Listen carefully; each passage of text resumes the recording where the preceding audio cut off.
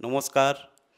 আপনারা সকলেই জানেন গত একুশে মে মাধ্যমিক পরীক্ষার ফলাফল প্রকাশিত হয়েছে আর সেই ফলাফলে মেধা তালিকায় ষষ্ঠ স্থান অধিকার করেছে পশ্চিম মেদিনীপুর জেলার মেদিনীপুর শহরের অলিগঞ্জ ঋষি রাজনারায়ণ বালিকা বিদ্যালয়ের সুপর্ণা সাউ। আমরা সুপর্ণাকে তার ভবিষ্যৎ জীবনের জন্য অনন্ত শুভকামনা জানাই। আজকে আমরা সুপর্ণার সাথেই কথা বলে নেব, একটু গল্প করব, আড্ডা দেব আর আগামী দিনের মাধ্যমিক পরীক্ষার্থীদের জন্য ওর কি বার্তা আছে সেটাও জেনে নেব। সুপর্ণা তোমাকে জানাই আন্তরিক শুভেচ্ছা আর অনন্ত শুভকামনা। থ্যাংক ইউ সো মাচ আচ্ছা বলো তুমি তো ষষ্ঠ স্থান অধিকার করেছ ছশো পঁচাশি পেয়েছ। টেস্ট পরীক্ষাতেও কি তোমার এরকমই রেজাল্ট হয়েছিল? টেস্টে আমি ছশো একষট্টি পেয়েছিলাম মানে একটু কম হয়েছিল। আচ্ছা তাহলেও ভালো ছশো একষট্টি। আর তুমি যেভাবে পরীক্ষা দিয়ে এসেছিলে তারপর কি ভেবেছিলে এতটাই ভালো রেজাল্ট হবে? হ্যাঁ এটা এক্সপেক্টেড ছিল। আমি যেভাবে পরীক্ষা দিয়েছিলাম মানে আর্টস সাবজেক্টগুলো বিভিন্ন টিচারের হাতে খাতা পড়লে একটু ভ্যারি করে মার্কস যদি আমি জানতাম যে যদি মানে সহৃদয় পরীক্ষকের হাতে খাতা পড়ে সেক্ষেত্রে আমি ভালো রেজাল্ট করব। আচ্ছা পরীক্ষা তোমার ভালোই হয়েছিল। ওই যে আর্টসের কথা বললে তাহলে তোমার ধরো ওই আগামী যারা মাধ্যমিক দেবে সেই পরীক্ষার্থীদের জন্য তুমি বলো আর্টসের বিষয়গুলো বিশেষ করে লিটারেচার ইংলিশ বাংলা ইতিহাস ভূগোল এইগুলো কীভাবে মানে লিখলে ভালো নাম্বার ওঠে? প্রথমত প্রেজেন্টেশনটা খুব ইম্পর্ট্যান্ট হাতের লেখা যদি খুব ভালো নাও হয় যেন একটু পরিষ্কার পরিচ্ছন্ন থাকে। কারণ আমার সব টিচাররাও আমাকে এটাই অ্যাডভাইস করেছিলেন যাতে খাতাটা যেন প্রেজেন্টেবল হয়।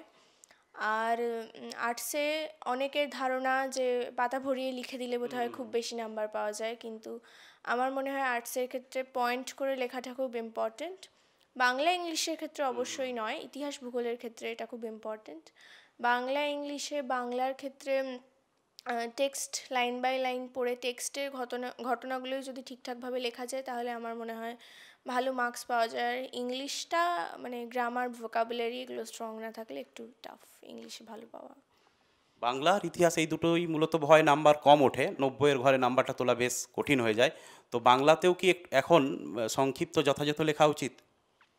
বাংলায় তো আমাদের মাধ্যমিকের যা নাম্বার ডিভিশন তাতে পাঁচ নাম্বারের কোয়েশ্চেন অনেকগুলো থাকে। সেখানে যদি চার সাড়ে চার এইভাবেই ডিভিশনটা হয়ে যায় তাতেও নাম্বার অনেকটা ভ্যারি করে যায়। তো এটা অনেকটাই লাকের ওপর ডিপেন্ড করে। আর না হলে বাংলায় অনেকে পাঁচে পাঁচও দিচ্ছেন। এক্ষেত্রে একটু বিষয়ভিত্তিক টেক্সট ভিত্তিক লেখাটা পয়েন্ট কি করা যেতে পারে বাংলাতেও বড় প্রশ্নগুলোতে? হ্যাঁ হেডলাইন আমি একটা দিতেই পারি যেটা পয়েন্টে আছে। কেন বা কি এই ধরনের প্রশ্ন থাকলে কারণ বলে একটা হেডলাইন দিয়ে আমি লিখতেই পারি। আমি তো করেছিলাম এরকম।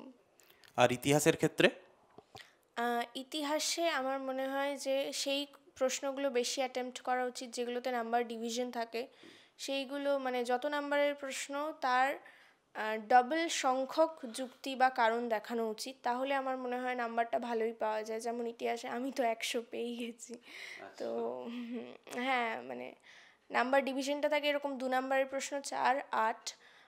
চারেও অনেকে ফুল মার্কস দিয়ে দেন কিন্তু আটে সাধারণত কেউ দিতে চান না। সেক্ষেত্রে আটে ভাগ থাকে। ফোর প্লাস ফোর বা ফাইভ প্লাস থ্রি এরকম মানে ডিভিশন যুক্ত প্রশ্ন অ্যাটেম্প্ট করলে নাম্বারটা বেশি পাওয়া যায়। ইতিহাসে তুমি একশো পেয়েছ।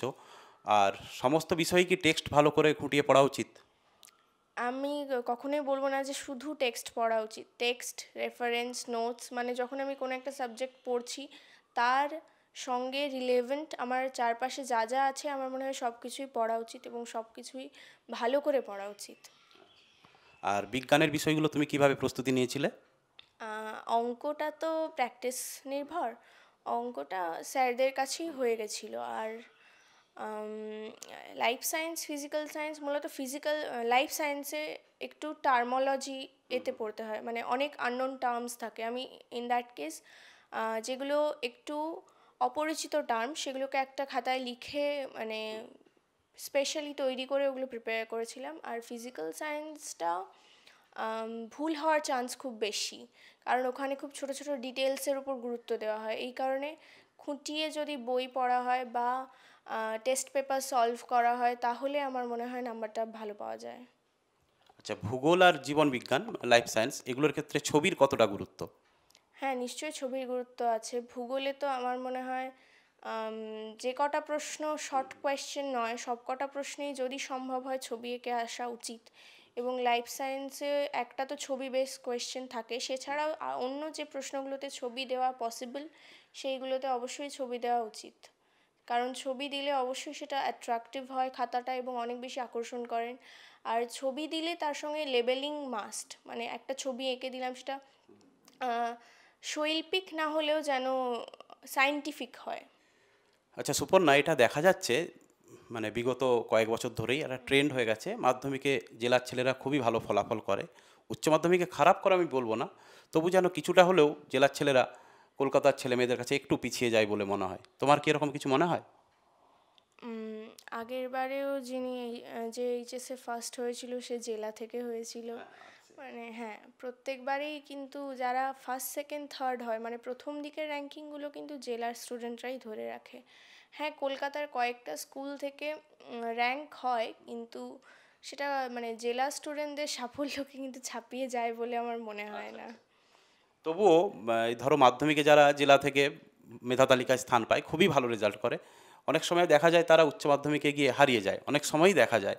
তো সেরকম কি কিছু মনে হয় বা সেইভাবে কি তুমি কিছু বিশেষ প্রস্তুতি নিচ্ছ? আসলে ওই টাইমটায় অনেকগুলো পরীক্ষা থাকে। কয়েকটা ক্যারিয়ার ওরিয়েন্টেড যেমন West Bengal joint JEE Main JEE Advanced NEET তো অনেকেই আছে যারা কেরিয়ারটাকে প্রেফার করে অনেকে আছে যারা এইচএসটাকে প্রেফার করে যারা পরবর্তীকালে জেনারেল লাইনে পড়তে চায় তারা এইচএসটাকেই প্রেফার করে। সো এটা খুবই কম দেখা যায় যে একসাথে জয়েন্টেও ভালো রেজাল্ট এবং এইচএসেও ভালো রেজাল্ট তো আমার এখন যেটা মনে হয় সেটা কেরিয়ারকেই আগে প্রেফার করা উচিত। কারণ এইচএসের রেজাল্টটা ভালো হলে ভালো কিন্তু যদি কেরিয়ারে মানে এই জয়েন্টের রেজাল্ট খারাপ হয় তাহলে কিন্তু কেরিয়ারটা একটা খুব মানে বড় প্রশ্ন চিহ্নের মুখে পড়তে পারে। হয়তো এই কারণেই রেজাল্টটা জেলার ছেলেরা যারা মাধ্যমিকে ভালো করে তারা এইচএসে হয় না কারণ তারা জয়েন্টটাকে প্রেফার করে। আচ্ছা তাহলে ভালো পড়াশোনা করলে কোনো না কোনো একটাতে নিশ্চয়ই ভালো হয় বলে তুমি মনে করো। হয় হয় এইচএস না হলে জয়েন্ট যে কোনো একটাতে তো ভালো রেজাল্ট হবেই। তুমি কীভাবে আগামী দিনের জন্য প্রস্তুতি নিচ্ছ? ওই যে কেরিয়ারের কথা বললে তুমি কীভাবে ভাবছ? আমার এখন যেটা মানে টার্গেট সেটা হচ্ছে কেভিপি বাই এক্সাম যেটা ইলেভেনে হয়। তো টুয়েলভেও হয়। সেটা যদি আমি মানে ইলেভেনে ক্র্যাক করতে পারি তাহলে হয়তো আমি টুয়েলভে খালি এইচএসটাকে নিয়েই ভাববো এবং এইচএসেই ভালো রেজাল্ট করাটা আমার টার্গেট হবে। কিন্তু মানে যদি ক্র্যাক করতে না পারি তাহলে হয়তো এইচএসটাকে আমি সাইড লাইন করে জয়েন্ট নিয়ে ভাববো। আচ্ছা কেবিপি ক্র্যাক করার পর তারপর কি করবে তুমি? ব্যাঙ্গালোর আইএসসি তো ওখানে ওখান থেকে পড়ে আমি রিসার্চ করতে চাই আচ্ছা। এই যে সবাই কেরিয়ারের কথা ভাবে এখনকার প্রজন্ম তোমার কি মনে হয় যে একটু আমাদের দেশের কথা বা সমাজের কথাও ভাবা উচিত এই ভালো ভালো কৃতি ছেলে মেয়েদের? হ্যাঁ সে তো নিশ্চয়ই। মানে দেশ যখন আমাদেরকে এত কিছু দিচ্ছে আমাদেরও তো ইন রিটার্ন কিছু দেওয়া উচিত। সেটা মানে আমারও প্ল্যান আছে। আমি যদি ভবিষ্যতে কোথাও স্ট্যান্ড করে যাই নিশ্চয়ই কিছু এনজিও এবং কিছু যারা অনেকটা খারাপ অবস্থায় আছেন তাদের জন্য কিছু করতে চাইব নিশ্চয়ই। অনেকে যারা ডাক্তার হতে চায় তারা বলে যে তারা বিনা পয়সায় চিকিৎসা করবে বা অন্য কিছু। কিন্তু নাই বা হলাম ডাক্তার কিন্তু অন্যভাবেও তো মানুষের পাশে থাকা যায় মানুষকে সাহায্য করা যায়। আর দেশের জন্য তো নিশ্চয়ই ভাবা উচিত। বাড়ি থেকে বা বাবা মার কাছ থেকে কিছু চাপিয়ে দেওয়া কিছু আশা আছে নাকি তাদের তোমার কাছ থেকে? না আমার বাড়ির কেউ কোনোদিনও কিচ্ছু আমার উপর চাপিয়ে দেয়নি। ছোটো থেকেই পড়াশুনোটা আমার ভালো লাগতো। আমি সেইভাবেই করেছি যখন যেটা প্রয়োজন সেটা বলেছি সেটা তারা এনে দিয়েছেন যথাসাধ্য। কিন্তু কখনোই কেউ কোনো কিছু চাপিয়ে দেননি বা কোনো কিছু ফোর্স করেনি যে এটা করতেই হবে বা এটা হতেই হবে এরকম কিছু কখনোই ছিল না। পড়াশোনার বাইরে আর কি কি করেছ? আমি নাচ শিখতাম। আর খেলা দেখি গান শুনি। আর গল্পের বই পড়তে ভীষণ ভালোবাসি। এগুলোই করতাম। পার্টিকুলার কোনো লেখক আছে নাকি? লেখক বা লেখিকা? শীর্ষেন্দু মুখোপাধ্যায় সুনীল গঙ্গোপাধ্যায় এই দুজনের লেখা খুব ভালো লাগে।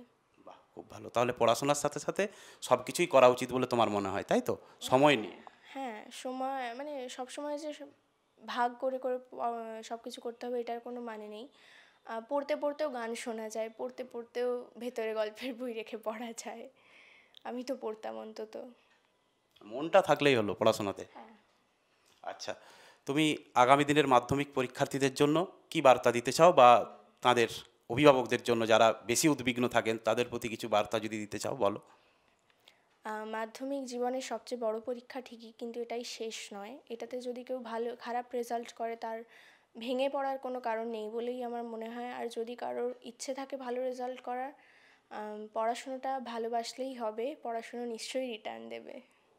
আচ্ছা অসংখ্য ধন্যবাদ আবারও শুভেচ্ছা তোমাকে। Thank you the Bengal Post online পোর্টালের পক্ষ থেকে এতক্ষণ আমরা কথা বলছিলাম মাধ্যমিকের ষষ্ঠ স্থানাধিকারিণী সুপর্ণা সাউয়ের সাথে। ওর মুখ থেকেই শুনে নিলাম কীভাবে প্রস্তুতি নেওয়া উচিত কীভাবে ভবিষ্যৎ সময় এগিয়ে যাওয়া উচিত। আজ পশ্চিম মেদিনীপুর জেলার গর্ব সুপর্ণা। আমরা এই শুভকামনা রাখি ও আগামী দিনে দেশের গর্ব হয়ে উঠুক। ধন্যবাদ।